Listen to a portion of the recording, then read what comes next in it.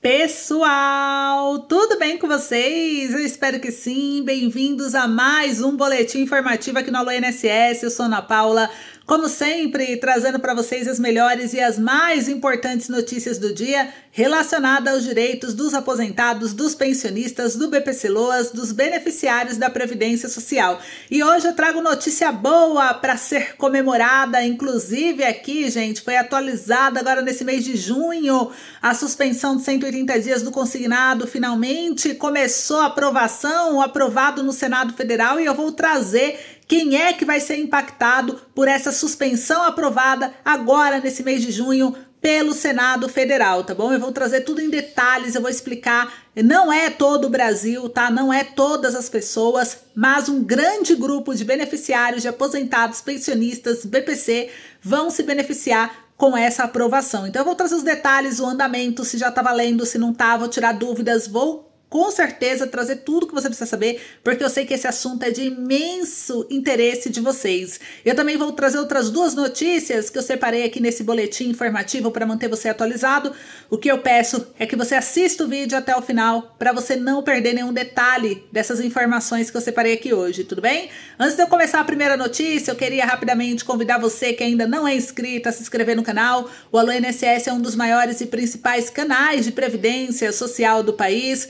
O nosso objetivo é trazer informação, orientação, explicação previdenciária e também sobre outros direitos que vocês podem ter acesso e talvez não conheça. Informação é poder, informação é dinheiro quando se trata de benefícios do governo. Então sejam muito bem-vindos aí. Obrigada aí pelo carinho, pela audiência e companhia. O Alô NSS é um dos principais canais de previdência que existe na internet e todos os dias você tem um boletim informativo aqui com a gente. E hoje, dia 12 de junho de 2024, dia dos namorados, dia dos apaixonados. Como que vocês estão aí, hein? É um dia de reflexão, né? O Dia dos Namorados, ele não trata só para poder mandar uma mensagem bonita para as pessoas. Ele trata de um dia de celebrar o amor, com certeza, e também de trazer reflexão importante sobre a vida dois, sobre relacionamento, sobre prioridades, sobre fidelidade e muito mais. Então é um dia de você refletir bastante e eu espero que vocês reflitam muito e quem sabe, né, seja uma reflexão que traga aí sobre as portas de um novo amor para aqueles que não têm mais o seu grande amor da vida junto, né? Ou então você renovar laços, né? Ou pedir aquela pessoa em casamento, em namoro, quem sabe, né? Fazer aquele convite para um jantar, uma flor. Então é um dia de reflexão e que gera aí oportunidades para vocês aí trabalhar esse lado do relacionamento na vida amorosa de vocês. E eu espero que vocês desfrutem bastante dessa reflexão e tenham atitudes em relação a isso. Gente, vamos lá falar as notícias?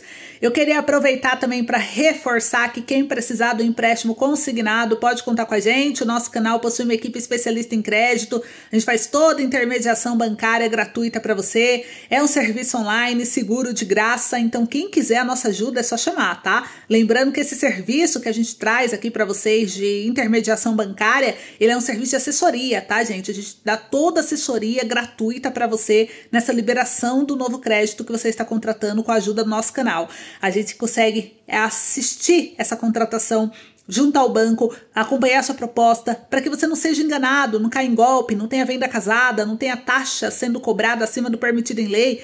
Então, o que a gente puder fazer para ajudar vocês, a gente ajuda e a gente faz aí da forma que a gente consegue, né, dentro dessa assessoria gratuita. Então, como eu falei, é de graça, não se preocupa de repassar valor para ninguém, é online e é 100% seguro. Então, pode chamar que a gente está aqui para te ajudar. E o link do nosso contato, né, do WhatsApp, está aqui na descrição do vídeo, primeiro comentário. Lembrando que a gente não aceita ligação, é um número 100% WhatsApp, 100% chat, 100% mensagem. Então tem que mandar mensagem para a gente poder te responder, tá bom? Ligação a gente não atende, o sistema nem toca a ligação, né? Parece que tá chamando, mas não chama, porque é um sistema de mensagem da equipe, então a equipe nem vê que tá ligando, porque é só mensagem. Ficou claro, gente? Então, quem quiser, chama que a gente vai te ajudar e vai te dar esse suporte aí na contratação tanto do empréstimo quanto do cartão de crédito. Você é aposentado, pensionista, BPC, ainda mais os novos entrantes do INSS, vocês têm acesso a um cartão de crédito, gente, incrível. Ele é um cartão de crédito sem anuidade, bandeira Mastercard. Mastercard tem um programa de fidelidade, Mastercard Surpreenda, que ele traz aí cashback, dinheiro de volta, pontos que você pode trocar por viagem, por itens de eletrodoméstico, por dinheiro. Então, cada real gasto no cartão, ele pode voltar uma parte para você. Então, isso pode te ajudar nas contas no fim do mês, né? Então, é um programa bem legal e é de graça, você não paga nada pelo programa. Uma outra questão também, né? Esse cartão consignado, ele vem com limite alto, então você tem um cartão aí consignado. Por que consignado? Porque ele é vinculado à sua folha de pagamento para caso você gaste o cartão e não pague a fatura, você vai ter um desconto de 5% do salário para bater a fatura desse cartão. Mas se você pagou a fatura, não vai descontar nada de você. Ele não tem anuidade, né? Então você não tem que ficar pagando nada mensalmente. Você paga o que você usou, gente. Usou é um cartão de crédito, você tem que pagar, né? Não pagou, aí óbvio que o banco tem que cobrar. E os juros dele é o mais baixo também, é 2,46 ao mês, ainda mais com essa redução que o governo fez. Eu, diferente de um cartão de crédito comum que é mais de 9% ao mês. Então ele é mais do que um terço mais barato aí, né? Um terço do, do que é cobrado o cartão comum. Então, gente, você paga muito mais barato ele tem a opção de saque, você pode sacar até 70% dos limites em dinheiro para te ajudar aí no pagamento de aluguel, das contas, de uma dívida mais cara, né, com juros mais caros. Então, ele pode ser um aliado aí na sua necessidade. Então, quem quiser, a gente solicita o cartão aqui para você também, o saque, se precisar, o, o empréstimo, caso você tenha margem. Então, pode chamar que a gente ajuda, beleza? Então, o recado tá dado, vamos trazer as informações. Eu quero começar com a primeira informação, que é sobre aqui, gente, o projeto de lei 10772, que amplia o pagamento do adicional de 25% nas aposentadorias para quem necessita de ajuda permanente de outra pessoa. Esse adicional de 25%, ele é para todos os aposentados por invalidez. Hoje no Brasil existe uma lei que paga a todos os aposentados por invalidez um adicional de 25%, caso esse comprove necessidade de ajuda de terceiros para atividade básica do dia a dia. Ana, mas o INSS já sabe que eu recebo aposentadoria por invalidez. Mesmo assim, eu tenho que solicitar o adicional? Tem. Você solicitar aposentadoria por invalidez, não está solicitando o adicional de 25%. Adicional de 25% é uma coisa, Aposentadoria por invalidez é outra coisa. São coisas totalmente diferentes, são benefícios diferentes. É pago pela Previdência, é um direito do aposentado por invalidez, mas sim, ele tem que conhecer o benefício para ele solicitar. E o que reprova bastante essa solicitação de adicional é a falta de um laudo médico completo. O seu médico tem que especificar nesse laudo a necessidade, qual é a necessidade, qual é o problema que você tem que necessita de cuidados, que cuidados são esses, por quê? né? Então ele tem que colocar que necessita de ajuda permanente de terceiros e para que fins? Porque o INSS vai fazer uma perícia nova com você para poder avaliar o adicional. Então, gente, o INSS é doido para reprovar, né? Ele adora reprovar porque ele fala que tudo aumenta o custo dele. O que ele puder reprovar, ele reprova. O que ele puder fazer você ter que ir para a justiça para demorar anos para ele te pagar, ele vai fazer. Então você tem que já é, contornar isso tentando aí, né? Mesmo assim não é garantido, mesmo com tudo certo, muita gente ainda reprova e tem que ir para a justiça, mas é importante saber que é um direito seu. E tem um projeto de lei 10772 que está ampliando no Congresso esse pagamento do adicional para todas as aposentadorias: aposentadoria por idade, aposentadoria por tempo de contribuição, aposentado por especial. Por quê? Porque às vezes o aposentado se aposentou por idade, por tempo de contribuição, mas no decorrer da vida dele, ele pode sofrer um acidente, ele pode ter uma doença, ele pode ficar com alguma invalidez né? Que limite ele, que ele precise desses cuidados. E ele também contribuiu com a Previdência. Por que só o aposentado por invalidez, né? Então é algo excelente, algo maravilhoso na vida dos aposentados. Esse é o projeto de lei 10772, ele é de 2018, ele está aguardando designação de relator na Comissão de Finanças e Tributação. Ele acrescenta aí um dispositivo à legislação número 8213 de 91 que dispõe sobre os planos de benefício de previdência social e de outras providências para estender a todas as aposentadorias esse acréscimo de 25% no valor da aposentadoria do segurado que necessitar de assistência permanente de outra pessoa. Então a comissão aprovou o adicional de 25%, gente, aí está em etapa final aí, né, para todo aposentado que precise de ajuda permanente. Ele está aguardando agora designação de relator na comissão de finanças e tributação e a gente está lutando aí para que ele avance o mais rápido possível para que seja concluído a votação finalmente desse projeto depois de tanto tempo esperando, né? Então vamos continuar na luta é, o deputado Vicentinho, que é do PT, fez um discurso também a favor desse projeto, então alguns deputados se manifestaram, né, vários parlamentares sobre o assunto, e a gente espera que ele seja concluído, porque vai ser uma vitória muito grande dos beneficiários da Previdência Social. Agora, uma segunda informação que eu quero trazer aqui para vocês e que também é de interesse de vocês: o STF pagou 39 mil reais em segurança para o Toffoli, né? E a final da Champions. Vocês viram isso? O ministro se ausentou da corte entre os dias 25 de maio e 3 de junho para poder passar uns dias fora do país, olha só, né? E o Superior Tribunal Federal desembolsou para essa saidinha dele 39 mil reais em diárias internacionais para um segurança do ministro Dias Toffoli durante essa viagem à Inglaterra. Isso inclui a ida do magistrado à final da Champions League e os pagamentos foram feitos para cobrir os custos entre 25 de maio e 3 de junho, período no qual o Real Madrid conquistou o 15º título do torneio. A informação veio do jornal Folha de São Paulo. O STF, ele confirmou a viagem do ministro, né, no exterior e eles ressaltaram que as viagens não diminuem o ritmo de trabalho de Toffoli, que segue produzindo votos e participando de sessões. Olha só, o STF não comentará questionamentos que individualizem seguranças, pois isso representa grave ameaça à segurança do servidor da autoridade protegida e seus familiares. O custo de despesa é regulamento divulgado no portal de transparência do site, afirmou o Supremo. O, o tribunal também detectou que a exposição equivocada de nomes de seguranças que acompanham os ministros após a Folha mostrar pagamento anterior a assessor de Toffoli, o órgão diz que corrigiu a forma de divulgação de informações sobre esses pagamentos. Destaca-se que os ministros são protegidos, caso necessário, em agendas institucionais ou não, porque o risco não ocorre somente na agenda institucional.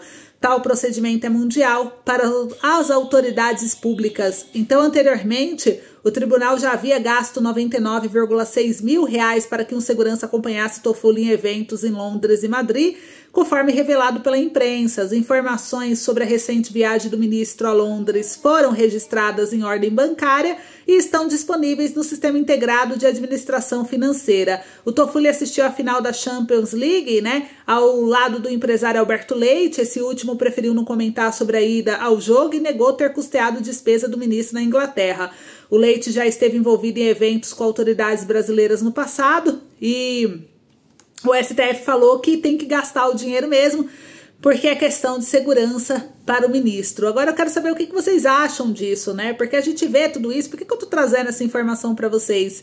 A gente vê, ele gastou quase 40 mil de dinheiro público para ver uma final de campeonato na Europa. Aí depois falam que não tem dinheiro para pagar um aposentado, que não tem dinheiro para ajudar uma pessoa com deficiência. Não dá para a gente engolir esse tipo de absurdo, de desculpa é, ferrapada, né? Que a gente fala de ministros, de governo, porque olha só quanto eles esbanjam na cara do pobre, do trabalhador, né? Então a gente precisa sim continuar cobrando e lutando pelos nossos direitos, pedindo para ampliar esse adicional de 25%, pedindo 14, pedindo tudo que a gente vê que o aposentado merece, porque condição de pagar o Brasil tem, senão não ficava pagando 40 mil de diária para ministro ficar assistindo campeonato fora do Brasil ainda. Me poupe, né?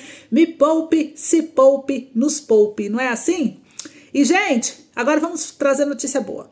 Vamos falar de motivo para comemorar, vamos falar um pouquinho da suspensão de 180 dias dos consignados que foi aprovado no Senado. E eu sei que muitos de vocês têm interesse sobre esse assunto, por isso que eu trouxe ele aqui hoje, nesse dia do amor, dia dos namorados, né? Para vocês se manterem aí atualizados sobre a suspensão, o que, que é que aconteceu, por que, que o Senado aprovou, para quem que aprovou quem vai se beneficiar disso e que pé que está, né? Então a suspensão de 180 dias do consignado foi aprovado pelo Senado agora na semana do dia 4 de junho. O Senado Federal aprovou um projeto de lei para a suspensão da cobrança de empréstimo consignado da folha de pagamento de aposentados pensionistas e servidores? Não, eu vou explicar para vocês. Esse, esse projeto de lei ele busca permitir que os aposentados e pensionistas que foram afetados pelas enchentes no Rio Grande do Sul, ou seja, não é todo o Brasil, né? Como eu falei no início do vídeo, mas é a galera do Rio Grande do Sul, aposentada, pensionista, que eles possam suspender o pagamento do empréstimo consignado por até seis meses. E aí eu vou trazer os detalhes do projeto de lei que vai entrar em vigor. Então, gente, a gente vê que a suspensão do crédito consignado promovido no projeto de lei 1815 de 2024, ele foi aprovado no Senado, então agora dia 4 de junho, a medida visa favorecer aposentado. Então, gente, é muito importante, né? A medida favorece aposentados, pensionistas, beneficiários aí de programas de transferência de renda, atingidos pelas recentes enchentes. Então, com a aprovação do projeto de lei que entra em vigor, esse público poderá suspender a cobrança de consignado por até 180 dias. Dessa forma, os beneficiários não receberão desconto das parcelas do crédito na folha de pagamento e assim terão mais fôlego durante a recuperação dos danos causados pelas enchentes. A suspensão temporária também abrange aqueles que têm contrato firmados durante a vigência do estado de calamidade pública. Até o momento, a suspensão do consignado foi aprovado pela Comissão de Assuntos Assuntos Econômicos. Agora ele precisa receber a aprovação da Comissão de Assuntos Sociais antes de seguir para aprovação do plenário do Senado. Em seguida, o projeto deve passar pela sanção presidencial, onde o presidente Luiz Inácio Lula da Silva terá até 15 dias úteis para sancionar a lei. E com a sanção, o projeto poderá ser. Oh, Bernardo. Ah, esse Bernardo, viu, gente? Ele fica causando. Então, com a sanção, o projeto poderá ser publicado no Diário Oficial da União, né, permitindo que diversos gaúchos possam suspender o pagamento do consignado da folha. E os bancos não poderá cobrar juros por essa suspensão. Essas parcelas que vocês ficarão sem pagar serão aí jogadas para o final do contrato para vocês quitarem com o banco no final do contrato. Então vai dar um fôlego financeiro, pelo menos o Rio Grande do Sul vai ser beneficiado. E com essa ampliação para o Rio Grande do Sul, gente, para ampliar depois para todo o Brasil é mais fácil. Então vamos ajudar o Rio Grande do Sul, nossos amigos gaúchos, a conseguirem isso. Falta pouco para ser finalizado e a gente espera que se conclua logo. Então é isso que eu queria trazer para vocês. Eu espero que vocês tenham gostado. Fala aí, obrigado, Bernardo. Obrigado. Fala um beijo. Beijo. Fala, deixa o joinha pra mamãe. Deixa o joinha pra mamãe. Isso aí. Então, obrigado, um beijo, se cuidem, até logo.